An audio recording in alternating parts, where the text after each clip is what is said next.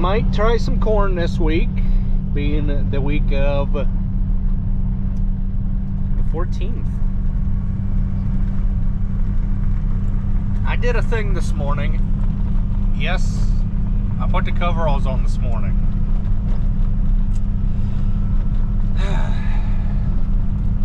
yeah. Didn't really wanna, but it was windy and a high of 40 at 6 o'clock this morning. I had to do a little work outside this morning. I was like, I really don't want to take them to work. Uh, I don't know. But like I said, we're going to set augers up.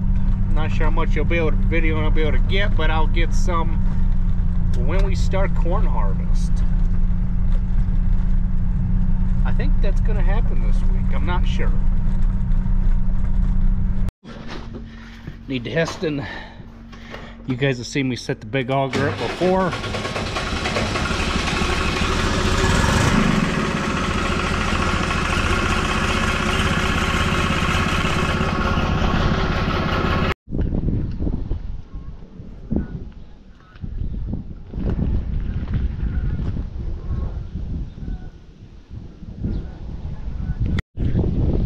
Might try corn either tomorrow being Tuesday or Wednesday, not sure. Um, but we got to get stuff set up. Um, it is, well, like I said, we're all done with our beans except the double crop. And uh, we need to start thinking about getting corn started. So this is how we set up. Just, that is an option, that hydraulic drive on this uh, Hutchinson grain auger. Um, it is by far the best auger that we've owned and uh, we've actually owned several of them. They've been really, really, really good augers. Like I said, this is a added option that we got added on this auger instead of a a hand crank because uh, who the heck wants to sit here and crank a 10 inch auger by hand? It is just yeah there's a time and a place for hand cranks but there is also a time for hydraulic motors hydraulic winches. That's what this is. It's a hydraulic winch. Has a cable that runs up there. Cable comes back down and runs around well this winch right there. That's exactly what that is is this is a winch. Just like you would see on like UTV or a Jeep a CJ Jeep or whatever um, basically the same thing. It uh, raises and lowers the auger. This is no.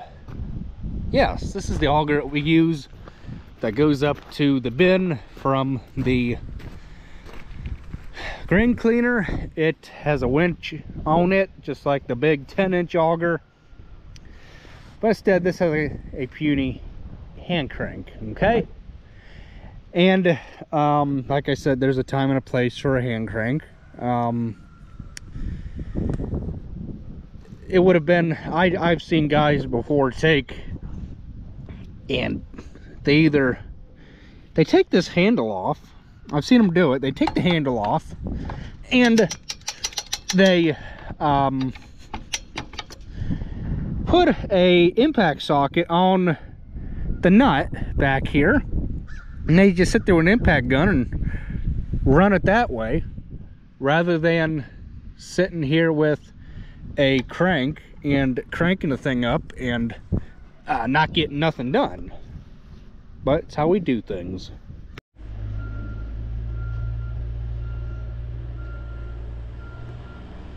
Trying to make pieces parts work. We're hitting the cable up there. We can't go anymore that way because we're hitting the cable.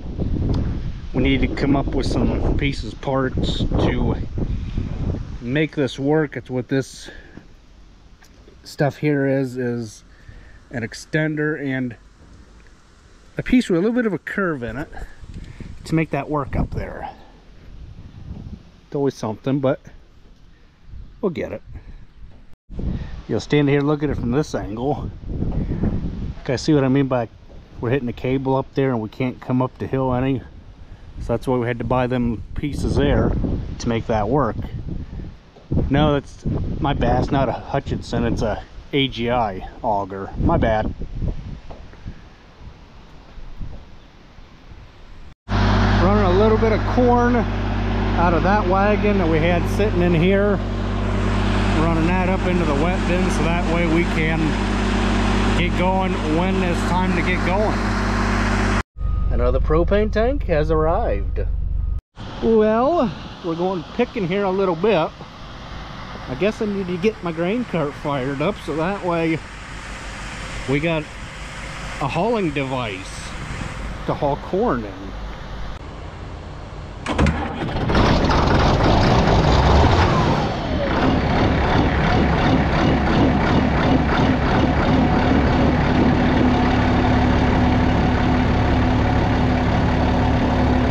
A little bit of a traffic jam here, but that's okay. Wherever that combine goes, this cart goes. In most cases, that is. Just got started a couple moments ago picking this field back here.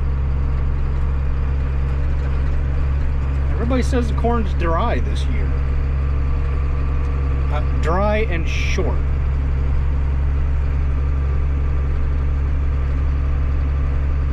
Oh well, we'll just make the best of it. Yeah, it is what it is for no-till corn.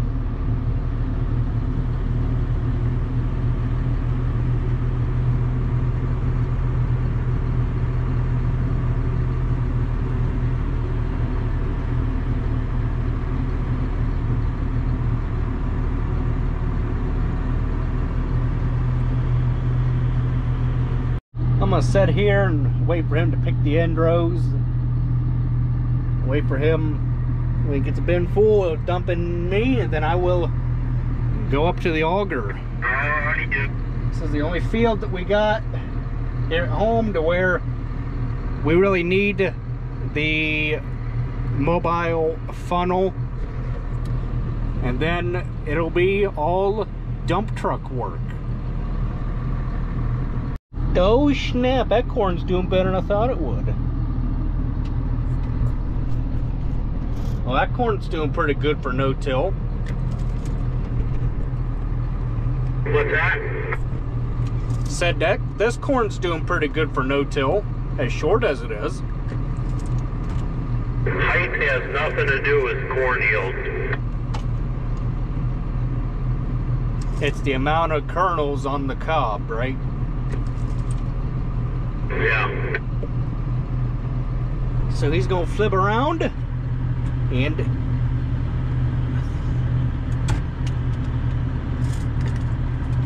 I'm gonna turn There. okay I'll stay here oh boy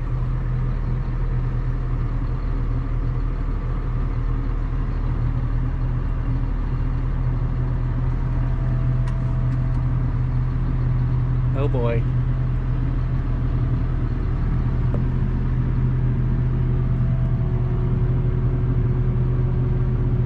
well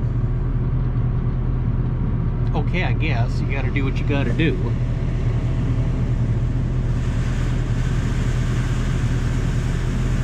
To offload the corn.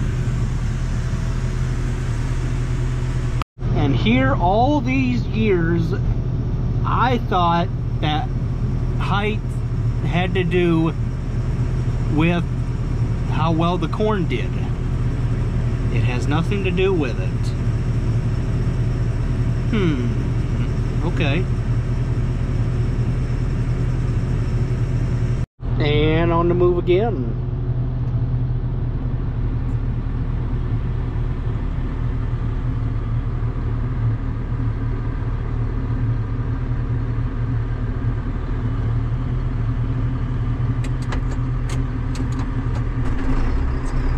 Sense in me waiting until I'm all the way full, right? Now go dump it so they can start to dryer. Okay. Little does he know the dryer's already running, but it is what it is.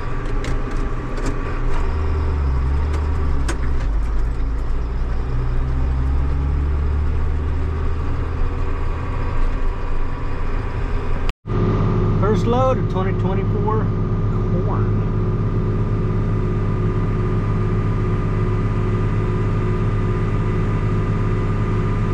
partial load, I should guess you would say, because we weren't all the way full.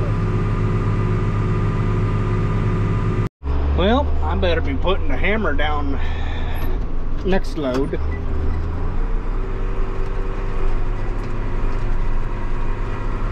Because he's loaded. I don't know why you just didn't leave the thing in D range.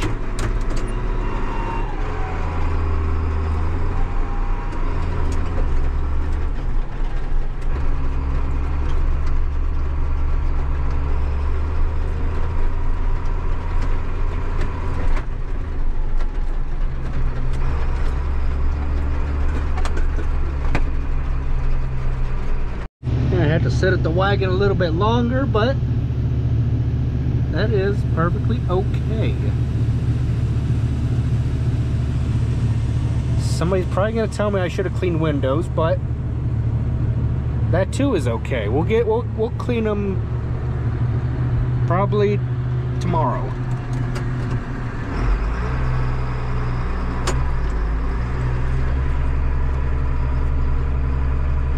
I can see the auger or the corn going in the hopper right down there. I can see the corn going in the bed on the wagon.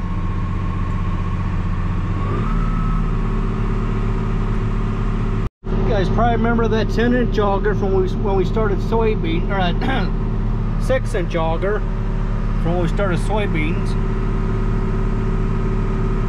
I'd have to stop and wait and do some more stopping of unloading and some more waiting. With a 10 inch auger, I can just keep on emptying into the funnel.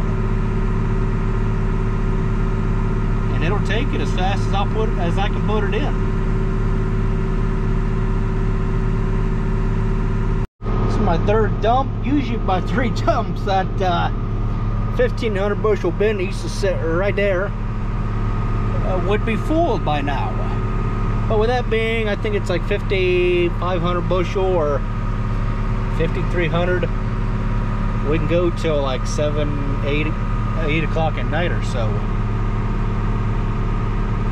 Let the thing dry all the next morning into the night. The thing will be ready to go by 2, 3 o'clock the following day. We are empty, running down to clean out right there. Let the auger clean out.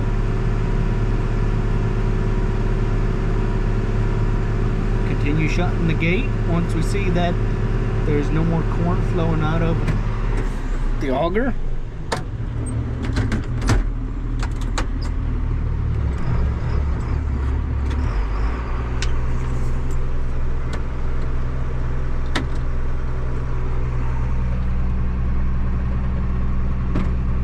Returns back to neutral and away we go. I don't know how you guys can see it, but I can see the flighting down there on that auger. And I can see the corn going up the flighting, which tells me we're in good standings. Corn goes into the dryer, or the wet bin, comes out the dryer, comes out the screen that's behind the wagon, goes up the transfer auger there, right there. That's a piece we had to add to this morning right there. Okay? To be able to reach that auger because we can't go down anymore because we're hitting the cables the way it is on the big 10 inch auger. Goes up that auger there into the bin. How in the world am I not, well, I was gonna say, how my back before he's not full, but I can see it start to bubble up there. Okay. So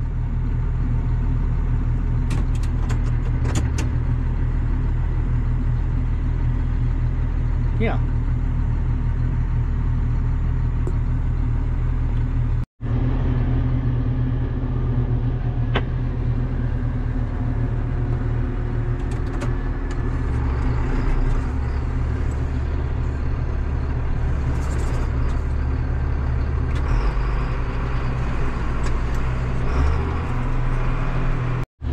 be nice if if combines were set up like uh, how choppers were. I think of uh, I think of that one that Andy has. I think it's like a 9570. No, that's one of his tractors. But anywho, I wish that a combine was set up like a chopper. How you had your spout out the back and you could offload on the left side or the right side of the machine. But we can only offload on the left side of the machine. Well, we're making headway.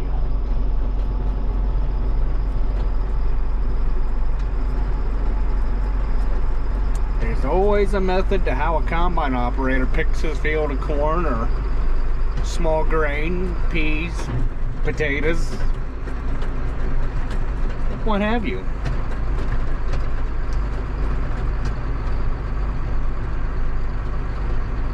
When you cut a field of soybeans or wheat, you start at one end, you go clear to the other. Whereas corn, it's a lot different. Get myself flipped around here.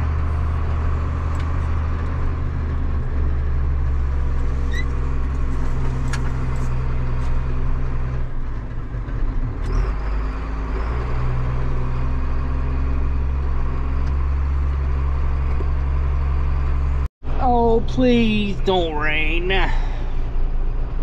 Need a couple more hours and we'll get this field done. And then it can rain, but it's starting to look like it might rain before we get done. But if it does, it, it won't hurt corn like it does soybeans or wheat.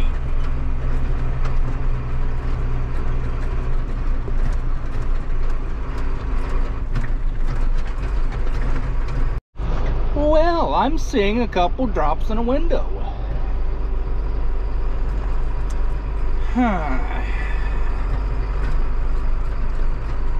well, as long as it stays a couple drops and doesn't amount, we'll be in good standings. Oh dear. And he's full. But it looks like he's on the right side.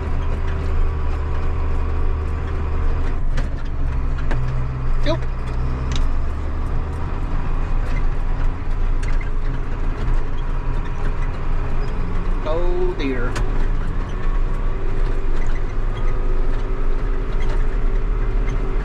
Just in time, Merc. I heard it. Watch this, guys.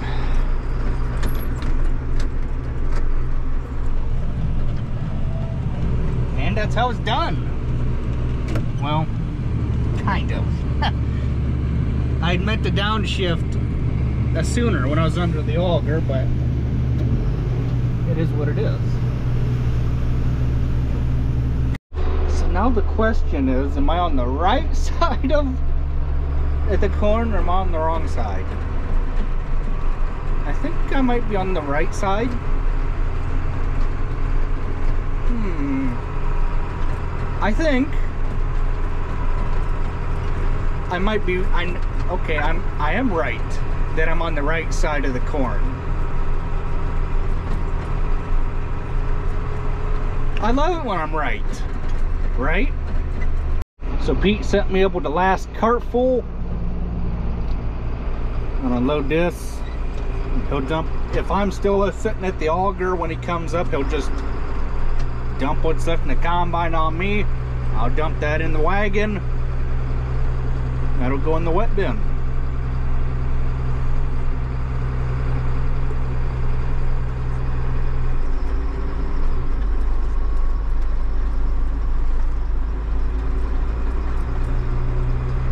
Know which engine I like hearing better under load, a 466 or the uh, 6081 and a 7810 John Deere. What do you guys think? Does the 466 sound better under load or the 6081?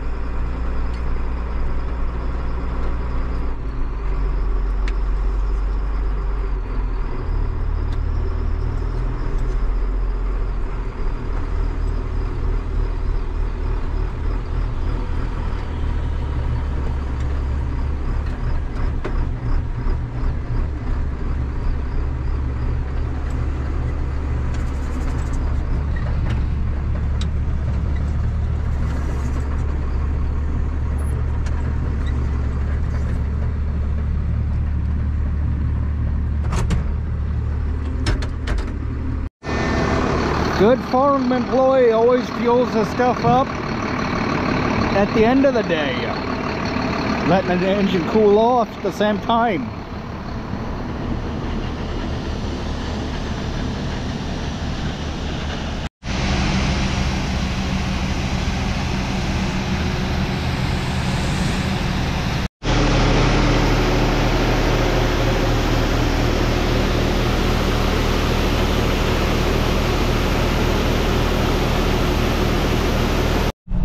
So, corn harvest day one was a success. We got all of the no-till field done, and everything's put away. That needs to be put away. So, with that being said, we'll probably start picking corn tomorrow, Tuesday the 15th. Probably 2 o'clock again or so give her time, give the field time to dry after it rains tomorrow morning, just like it did this morning. We'll join up with you guys at some rate tomorrow. Boy, that car right there makes it appear closer than it is. Excuse me. Excuse me. When uh, it's actually way out the other end of the field there about half a mile away.